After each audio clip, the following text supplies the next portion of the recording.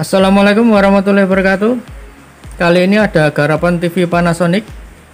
Langsung saja kita coba rusaknya kayak gimana Nanti kita coba perbaiki bersama-sama. Sepertinya alat indikator sudah menyala hijau Tanda TV start. Layar sudah nyala Belum saya kasih antena. Nyala blue back. Menurut keterangan yang punya TV inilah seperti ini. Mati-mati sendiri. Kadang nyala sendiri. Kadang mati-mati sendiri. Tapi nggak tentu itu matinya seberapa lama atau nyalanya seberapa lama. Lihat indikator masih hijau. Ini nanti kadang nyala sendiri. Jika ditunggu sampai beberapa menit Baiklah, sebelum kita lanjut, saya ingatkan dulu bagi yang belum subscribe channel YouTube Yusuf Elektronik, tekan dulu tombol subscribe di bawah ini supaya kalian nggak ketinggalan setiap saya upload video yang terbaru.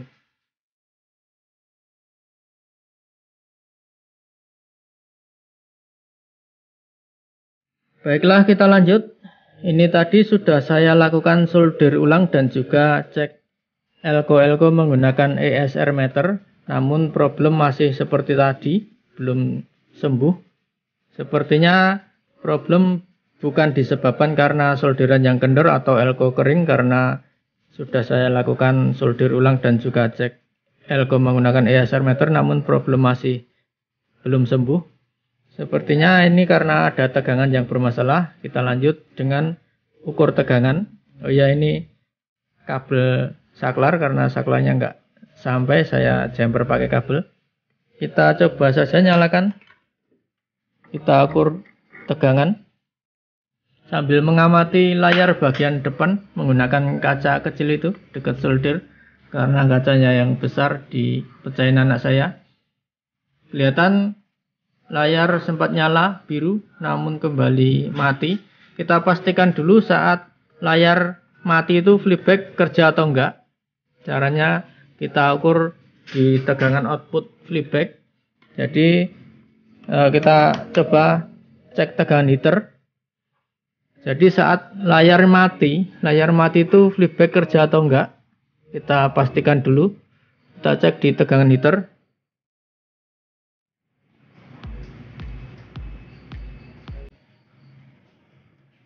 Ini tegangan heater 0 volt.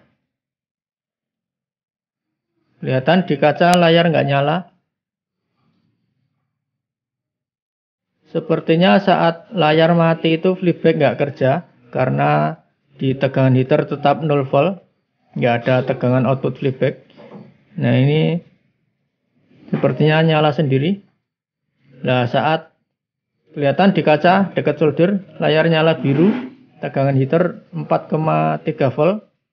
Lalu saat layar mati tegangan heater 0 volt. Ini bisa dipastikan saat layar mati uh, flipback nggak kerja karena tegangan heater 0 volt. Sepertinya itu uh, itu karena flipback kadang kerja kadang enggak. Lanjut kita ukur tegangan output regulator tegangan B+ dari output regulator output, output trafo. Kita cek di elko B+ di sini. Ini tegangan B plusnya 130. Terukur 131, layar kelihatan nyala di kaca. Saat layar mati tegangan B plus tetap 131 volt. Nah itu kelihatan. Sepertinya problem bukan di tegangan B plus karena tegangan B plus tetap 131 volt saat layar nyala ataupun layar mati tetap 131 volt. Lanjut di tegangan yang lain.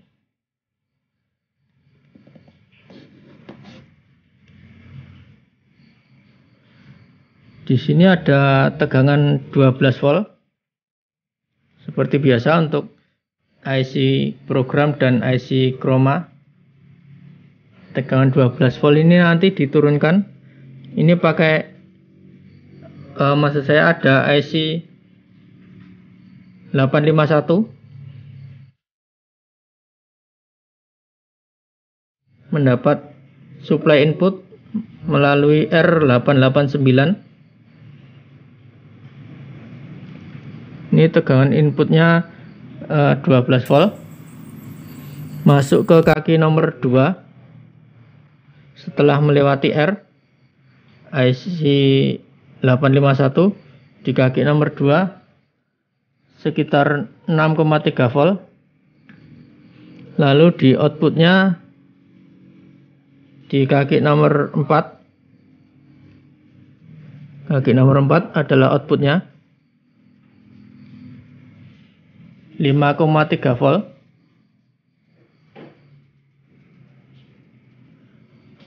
Ini layar masih nyala, tunggu sampai problem. Apakah di IC ini tegangannya nggak stabil atau ngedrop? Oh ya, IC ini IC semacam IC untuk saklar mendapat kontrol dari IC program untuk saklar tegangan osilator horizontal. Jadi inputnya di kaki nomor 2 dan outputnya di kaki nomor 4. Outputnya 5 volt untuk supply osilator horizontal. Jadi saat saat standby kaki nomor 4 tidak mengeluarkan tegangan dan saat TV on kaki nomor 4 mengeluarkan tegangan 5 volt untuk supply osilator horizontal. Untuk kontrol on off-nya ada di kaki nomor uh, Jadi kaki nomor 1 mendapat perintah on off dari IC program. Kita tunggu sampai problem kambuh lagi. Baiklah, setelah saya tunggu saat problem kambuh ternyata ngedropnya ada di kaki nomor 4 IC 851 tadi yang saya jelaskan di kaki nomor 4 kaki output tegangan 5 volt untuk supply IC osilator horizontal tegangannya nggak stabil nah ini tegangannya ngedrop jika tegangan 5 volt di kaki nomor 4 ini uh, flipback bisa bekerja atau layar nyala, tapi suatu saat tegangannya ngedrop. Nah ini kelihatan di kaki nomor 4 tegangannya ngedrop menyebabkan flipback berhenti bekerja karena osilator horizontal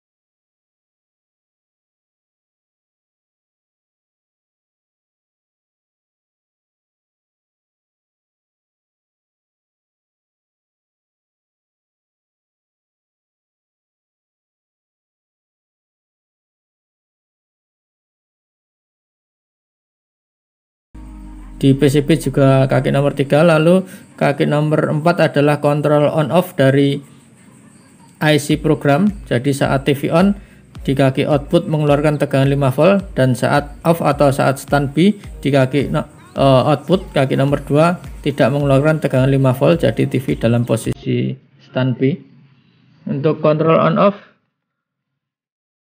di PCB di kaki nomor 1 jadi nanti kaki nomor 4 78R05 kita kasih di PCB di kaki nomor 1 oke kita modif dulu.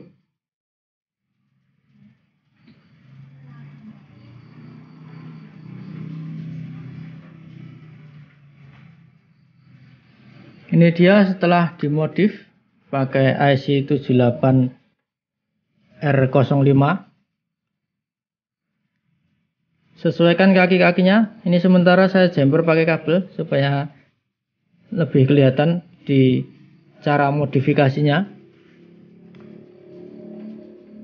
Untuk di kaki nomor satu. Kaki nomor satu adalah input. 10 volt.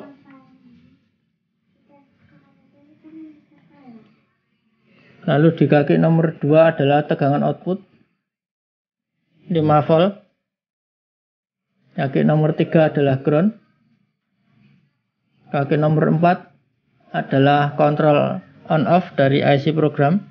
Saat TV on ada tegangan 3,3 volt dan saat TV standby tegangan ini menjadi 0 volt menyebabkan di kaki output di kaki nomor 2 itu tidak ada tegangan sehingga TV menjadi standby. Ini sudah saya coba beberapa waktu. Sepertinya problem sudah sembuh. TV sudah nyala normal. Mungkin sekian saja video kali ini cara servis TV Panasonic dengan kerusakan layar kadang mati-mati sendiri. Penyebab karena tegangan supply IC osilator horizontal tegangannya ngedrop. Ini karena IC-nya rusak saya modif pakai 78R05 karena IC aslinya sepertinya ini saya masih asing dengan seri IC ini. Nggak ada stok dan mungkin juga jarang di pasaran karena adanya stok 78R05 ganti saja dengan 78R05 tinggal modif tempatkan kaki-kakinya. Nanti bisa dirapikan di PCB mungkin sekian saja video kali ini. Semoga videonya bermanfaat. Jangan lupa subscribe channel youtube Yusuf Elektronik bagi yang belum subscribe. Like video ini. Jangan lupa like ya komen jika ada pertanyaan dan sampai jumpa di video saya yang selanjutnya